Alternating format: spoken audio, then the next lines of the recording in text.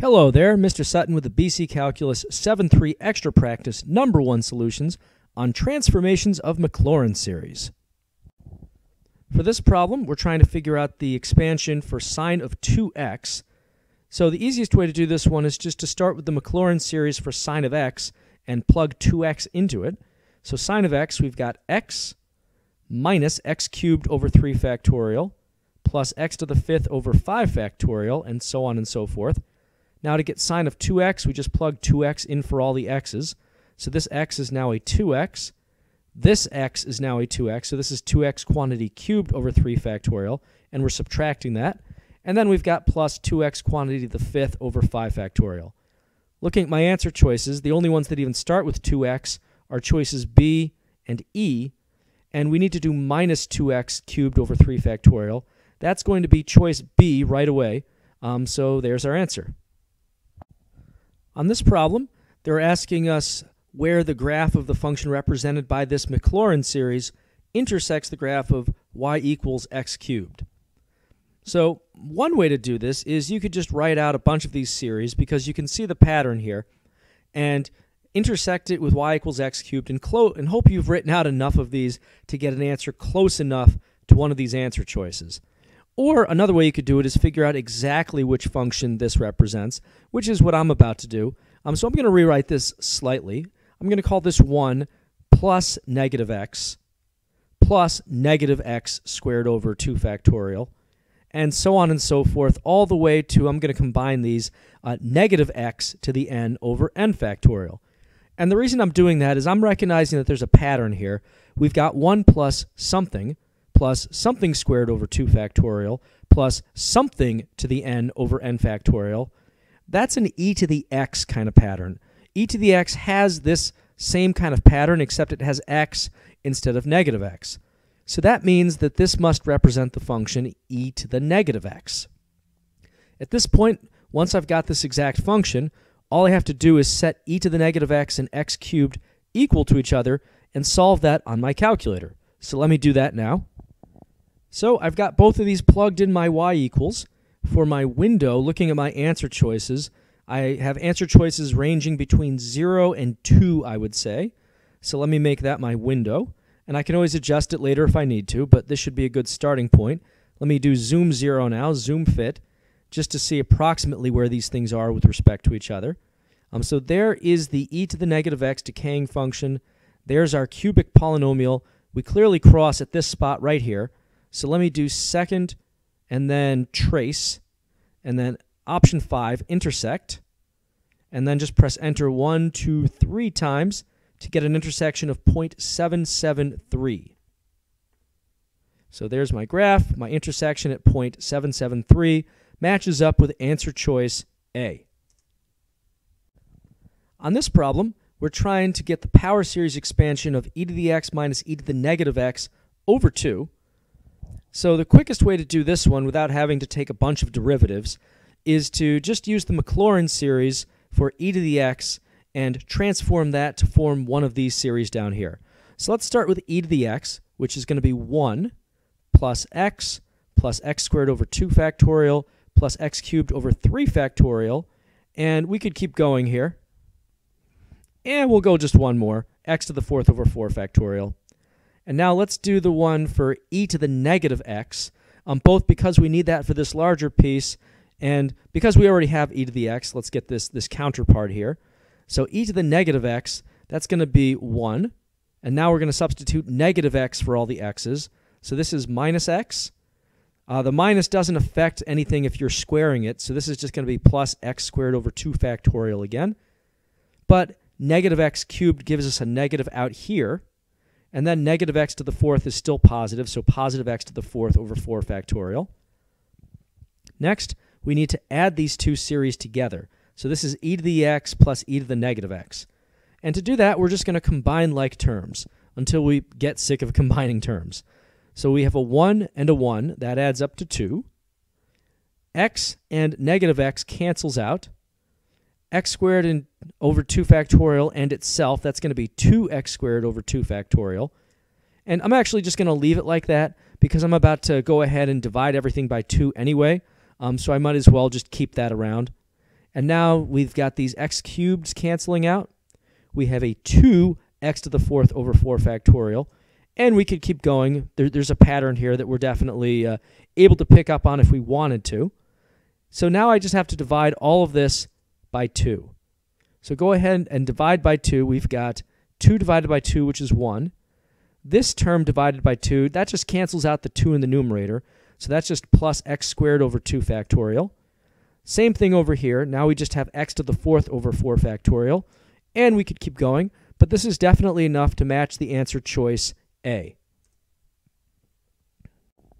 For this problem, I want to know the sum of this series. Now, this is a little bit tricky because normally when we ask for the sum of a series, it's a geometric series, and you can just use your infinite sum formula. But this one is not quite geometric.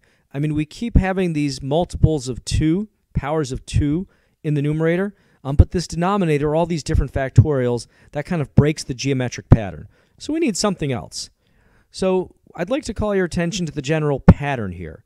We have 1 plus something to the first over 1 factorial plus something to the second over 2 factorial plus something to the third over 3 factorial plus something to the n over n factorial. Well, if you have that general pattern here, something with, with the same power and factorial, and we have all addition, this is actually the expansion for e to the x, which means all of this stuff is essentially just e to the x, but instead of x, the something is 2. So this is really all just e squared. And that happens to be an answer choice, answer choice B. On this no calculator problem, we have f as a function such that f prime is sine of x squared, about 0. We want the first three non-zero terms of a Maclaurin series for f. All right, well, eventually, if we want f, we're going to have to take the antiderivative of f prime, but we need to first figure out what f prime looks like as a series. So let's start with the Maclaurin series for just sine of x. That's going to be x minus x cubed over 3 factorial plus x to the fifth over 5 factorial, and we could keep going, but these all only have three terms, so I'm not going further than three terms out on this. Next, we need to do sine of x squared. Well, that's just going to be all of this stuff, but with x squared plugged in for x. So we've got an x squared instead of an x right away. And then uh, this is x squared cubed, so x to the sixth over 3 factorial that we're subtracting. Next, we have plus x to the 10th over 5 factorial. And at this point, uh, this is f prime right here. So we need to take the integral of this thing from 0 to x in order to get the, the function that they're looking for, the f function. But now when you do this, taking these antiderivatives, you're going to notice you have all x terms, which means when you plug in this lower limit of integration in your evaluation box, everything's just going to zero out anyway. Um, so really, you're just going to be stuck with whatever you plugged in from your upper limit of integration, which is basically just the antiderivative of all this with x plugged in instead of t. All right, so doing that then, antiderivative, we've got this is going to be x to the third over 3 minus this is going to be x to the seventh over whatever 7 times 3 factorial is. And then this one's going to be x to the 11th over 11 times 5 factorial. Looking at the answer choices, do we have this in any of the answer choices? Kinda, sort of. Um, we can definitely narrow it down to choices C and D, but it looks like they actually simplified their denominators for some reason. Um, so we're going to have to go ahead and follow suit. So we definitely have x cubed over 3 minus, and now 7 times 3 factorial, that's 7 times 6, which is 42. And that's actually enough to cho choose choice D. Um, but if you wanted to do the next one just for fun, this is really 11 times 120. Well, that's really like having a 10 times 120 plus 1 times 120. That's going to be, let's see here, 1,200 plus 120, which is 1320. So x to the 11th over 1320. Again, totally unnecessary, just for fun. You could have picked choice D after the first two terms. For this problem, we have this series uh, negative 1 to the n, x to the n, n factorial. And they're saying it's the Taylor series about 0 for which of these functions. So it's basically the, the opposite of when you start with one of these and you have to expand it. Um, we have to turn this into one of these functions. So just to get my bearings, I'm going to actually start plugging in n values and see what this thing looks like. So plugging in 0, we've just got all of the numerator to the 0 over uh, 0 factorial, which is that's just going to be 1 over 1, which is all just 1. Next, I'm going to plug in 1 for n. So that's going to be negative x over 1 factorial, so just negative x. Plugging in 2 now for n, that's going to be positive 1, x to the second over 2 factorial. And we're just going to keep going. We're just going to keep alternating between positive and negative. And our exponent and our factorial are going to keep matching up. So if you rewrite this a little bit differently, if I write this as 1 plus negative x plus negative x squared over 2 factorial plus, in general, negative x to the n over n factorial, which is what you could simplify this to if you move the negative 1 and the x in together, since they have the same exponent. If you do all this, there's a pattern. We have 1 plus something plus something squared over 2 factorial plus something to the n over n factorial. That's the pattern of e to the x. Only instead of x, we have a negative x here. Um, so this really then is just going to be e to the negative x. And you could always expand that back out to make sure it matches up, but it does. So this is answer choice D. On this problem, we're trying to expand sine of t over t. Well, let's start with the expansion of just sine of t. We should have that memorized. That's going to be t minus uh, t cubed over 3 factorial plus t to the fifth over 5 factorial and we'll do one more, minus t to the seventh over 7 factorial.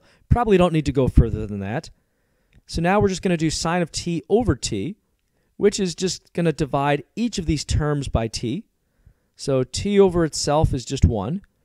Next, we have minus t squared over 3 factorial, plus t to the fourth over 5 factorial, minus t to the sixth over 7 factorial.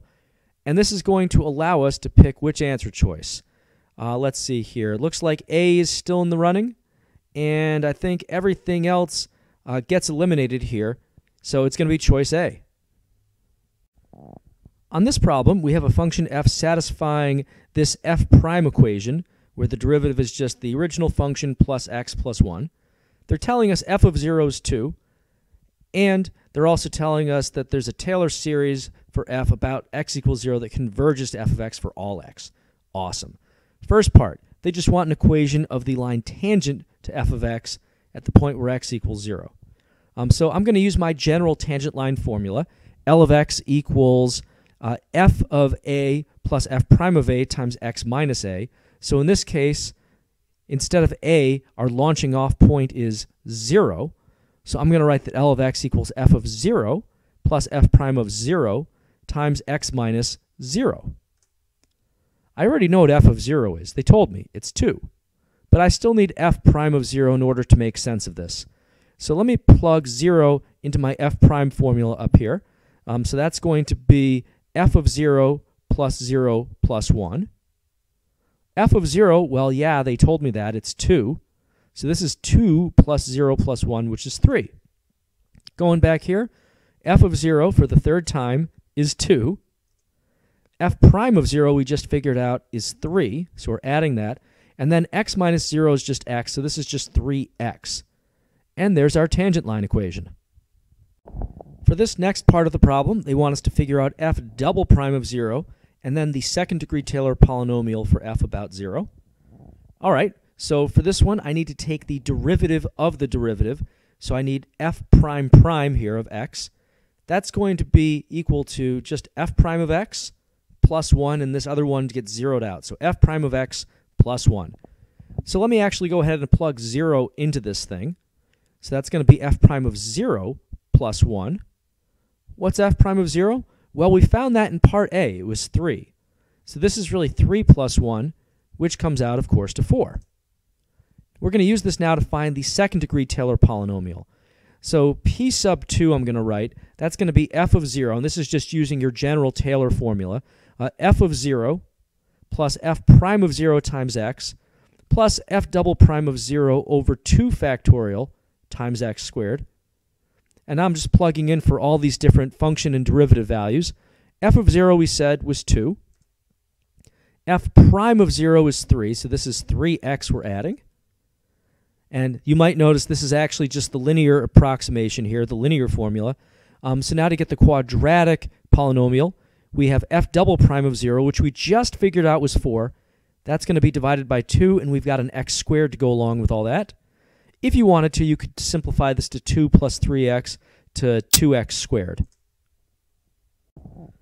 For this problem part, now they want the fourth degree Taylor polynomial for f about x equals 0. Well, here was the uh, first two degrees, constant, linear, and quadratic, and I'm just using the simplified version of what we had before. But to this, we're going to add two more terms. Now we want, for the third term, the third order, we have f triple prime of 0 times x cubed over 3 factorial.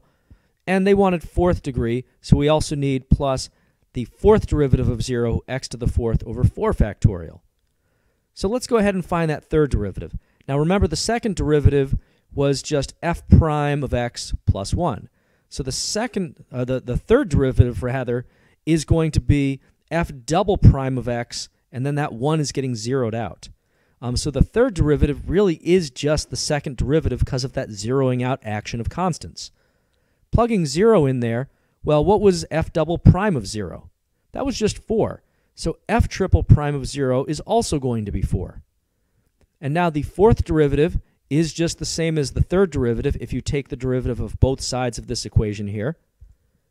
And wait, what was the third derivative at 0? Well, it was 4. So that's also the fourth derivative. And we could just keep going on this.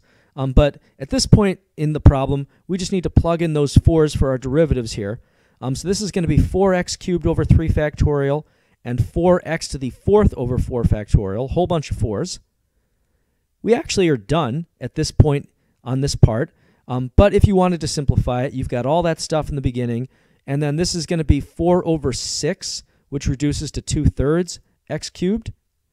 And then we've got 4 canceling out with the 4 and the 4 factorial. So this is just going to be x to the fourth over 6. Or you could think of this as 4 over 24, which again is 1 over uh, 6. So that's the simplified version of this. On this last part of the problem, they want us to find the nth derivative of 0, uh, just for n greater than or equal to 2. And there's some other stuff they want us to do, but let's do this first. Um, so in general, you saw on the last part of the problem here, when we were doing third derivative and fourth derivative, that after you get to the third derivative, each derivative is just going to be equal to the derivative before it. So in general, we can say that the nth derivative, for n greater than or equal to 2, the nth derivative is just going to be the n minus first derivative at 0. And all of these we saw just came out to 4. Okay, so next, using this, uh, they want us to use the Taylor series about f at x equals 0 and the Taylor series about e to the x to find a polynomial expression for f of x minus 4 e to the x. So the key here is they said use the Taylor series for f about x equals 0. They didn't say the Taylor polynomial, they said the Taylor series. That means they want the whole thing, including the general term. So here was the first four terms of our series, and I unsimplified this piece a little bit to be 4 over 2 instead of 2x squared. You'll see why I did that later. But we need, we need a general term now. Well, since our general term is just going to be the nth derivative of 0 times x to the n over n factorial, and the nth derivative is just 4, our general term is just going to be 4 x to the n over n factorial. So that's f of x in its full expansion. Now we're going to need to figure out the expansion for e to the x, and then we'll do 4e to the x and subtract it. Um, so e to the x, that's going to be, that's one of those memorized ones. That's going to be 1 plus x plus x squared over 2 factorial plus x to the third over 3 factorial, all the way out to our general term of x to the n over n factorial. But we're not done. We need to rewrite this as 4 e to the x. So I'm just going to multiply all this series by 4. That's going to be 4 plus 4x plus 4x squared over 2, which, that's curious, that matches up there, plus 4x cubed over 3 factorial. Hmm, that also matches. And if we go out to the general term, multiplying this just gives us 4 x to the n over n factorial. Now, at long last, we get to put everything together and do f of x minus 4e to the x. So we're essentially going to take f term by term and subtract 4e to the x. So just combining like terms, 2 minus 4 is negative 2. 3x minus 4x is negative x. And you might be wondering how many terms do we need to show because they actually didn't say it. They just said polynomial expression. So that's kind of vague because this thing could theoretically go forever. Uh, but let's let's keep going. We have 4 over 2x squared minus 4 over 2x squared. Well, those are exactly the same, so those cancel. 4 over 3 factorial x cubed minus itself also cancels. And if we keep going, we see that every term out to this general term is now identical, so that when we subtract them, all of the other terms after this minus x are going to cancel out. So it turns out negative 2 minus x, I mean, it's not much, but it does count as a polynomial expression.